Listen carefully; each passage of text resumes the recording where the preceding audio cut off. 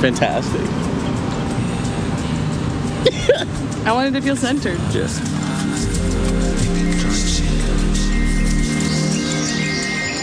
I feel like if there, there was anybody whose social anxiety was scared of, it would be you. you know what I'm saying?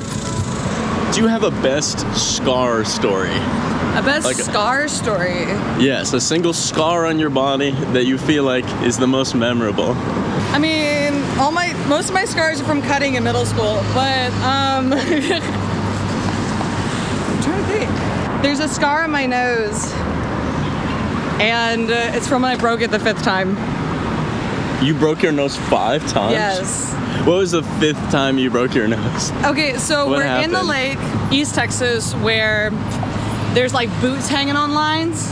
Boots hanging on lines? Yeah. Okay. What, what do you mean by that? So whenever a cowboy dies, they put his boots on a line. Like out of respect? Yeah, my, we went and saw my uncle's boots. Anyway, we're in a lake and we're playing King of the Hill, and I'm like, I'm gonna win this. Yes, there's teenage boys, but I've got what it takes. Hey, you're And I was- competitive. I was, You're and I was competitive. like in middle school, and um, I got flung into the water as it happens, and this girl who's more even more fiercely committed than I is kicking and screaming and fighting with her life because they're brothers with teenage boys. But as she's thrown into the water, her knee collides with my face, and blood gushes everywhere. Um, Did you go to the emergency room? no, probably should have. Okay, how about this? All right, what's up? What's a what's a chance encounter with somebody that you think has changed your life forever? Like there was a before and after. Okay. So, um, you know the um, toilet spray? Like poo pourri. Yeah, the Poop poopery. poop poopery. Poopery. Yes. the poopery. the poopery. Here, let's walk down these So, stairs. um, she, I met the CEO. At the time, I had just finished writing that ADHD curriculum that I created, and I had taught it at a school, and we were there for like an entrepreneurship thing. But I was getting tired of like talking about ADHD all the time. I was getting tired of like having to self promote. It was just like kind Hmm. Yeah. of that, like, exhausting. Um, trying to convince people to like care about why learning about your brain is so important, why it matters to learn about your child's brain. Yeah. And I was like, how do I take this further and make it sustainable? Okay. What'd you do? I talked to her and I was like, I'm exhausted. What do I do? I've been working on this project for like five years. And she gave me some incredible advice about like creating a bet your brand. Sorry. No, you're not. Whoa, whoa, this is so delicious, by the way. I know. Wait, sorry. Go on. I didn't want to get you off topic. Oh, no, you're good. And so she talked about Flo and the lady who does like the poo poo oh, dog. And she um, she's like, we have like a whole binder about this persona and like what it's supposed to be, what she hmm. sounds like, what she looks like, um, her accent, her mannerisms. She's like, give it a life of its own. Give your brand a life of its own. And like put it in writing so that you don't have to recreate it each time you Yeah. do something. You can hmm. just have it to refer to, and it's its own identity, it's its own persona. Hmm. And that gave me more hope for the new life of this thing I was creating.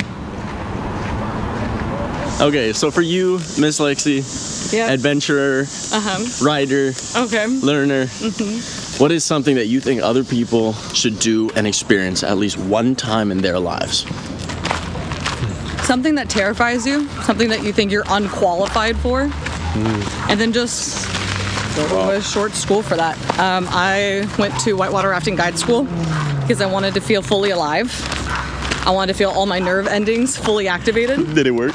It did, it did. I was like, shh.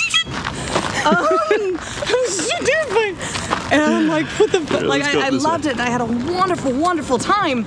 Um, but they're also wanting, you know, the first day the instructors take us down, right? And they're like, day Yeah. two, you guys are going to take each other down. And by saying take each Hmm. other down, I mean like be the guide and call out the paddles. And I'm like, I don't understand hydrology. We're in um, high water, class two and three rapids, but because it was such a high water season, because it was snow melt, it was on the American River, Yeah. and it was cold. They were like class three plus rapids. Okay, so Um, for the all for the like- uneducated, would Yeah. you tell us what like a class three rapid is? Like to a to an illiterate person like myself, what does that mean?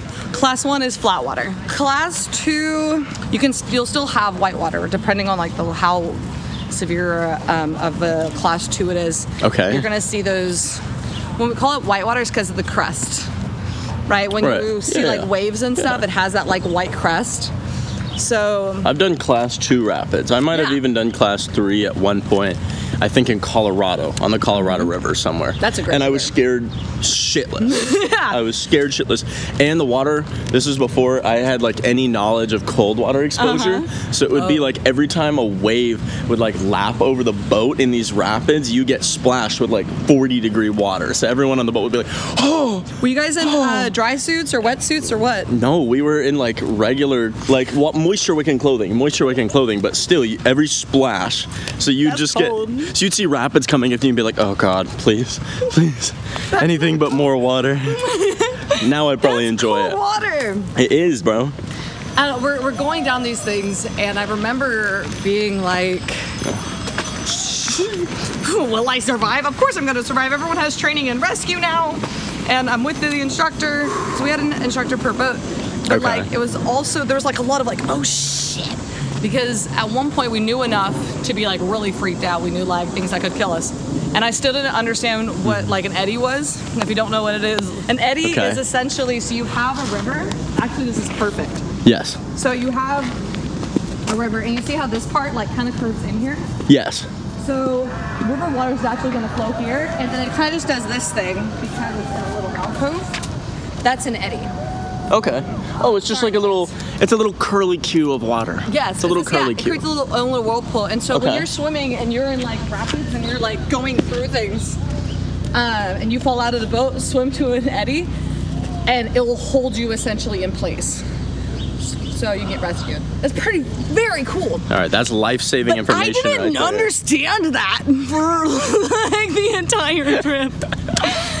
um, so we're just like in this thing, and then like on our, we did this 21 mile trip, and they're like, "Hey, you do the first rapid." I'm like, "Okay." Hmm. I have six people on my boat in addition to me, and I'm supposed to tell them like how to do things, tell them when to paddle, and such. And I'm supposed to be doing like all these fancy maneuvering, and this is like day five.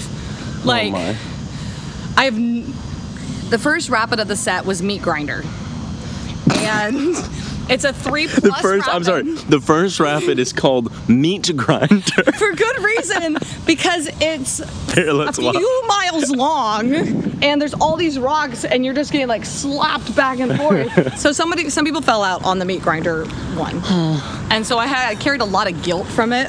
I put somebody who now was like she had like a panic attack essentially in the water. No, she didn't panic. She had an anxiety attack. Um, it was like, oh my gosh, I'm freaking out. I'm gonna die, like kind of thing. She was fine. But I felt carried so much guilt over it, and I had to work through it the next few days. Do you have a conversation with her? You know, maybe that'd been a great idea. I was too busy feeling guilty. um, and then the last day, I led um, Satan's Son.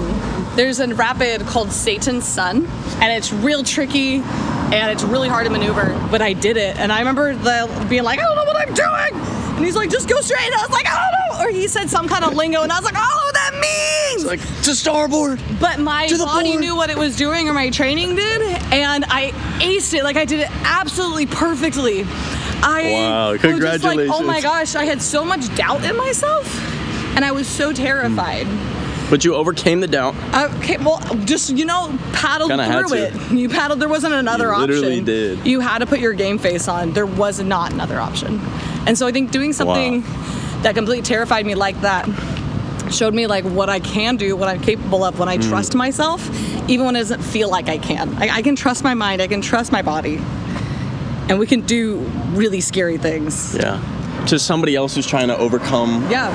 scary things in their life, challenges that they have to Mm-hmm. have to face for some reason or another. Would you have any advice for them? Find wise people around you who've been through it before. Perfect. Yeah. Who's- and then just paddle paddle through the fear. Paddle through the Paddle fear. through the fear. You'll figure it out. Trust yourself. Trust the Oh. process, and trust your training. But do train, please. Yeah, do, do, do, do All train. Speaking of good training, if you have someone else you think a conversation could go well with, please tag them below. Thank you so much for watching. Thank you for your time, for your energy, and thank you for hanging out with me for a little bit. That being said, you guys have a good day.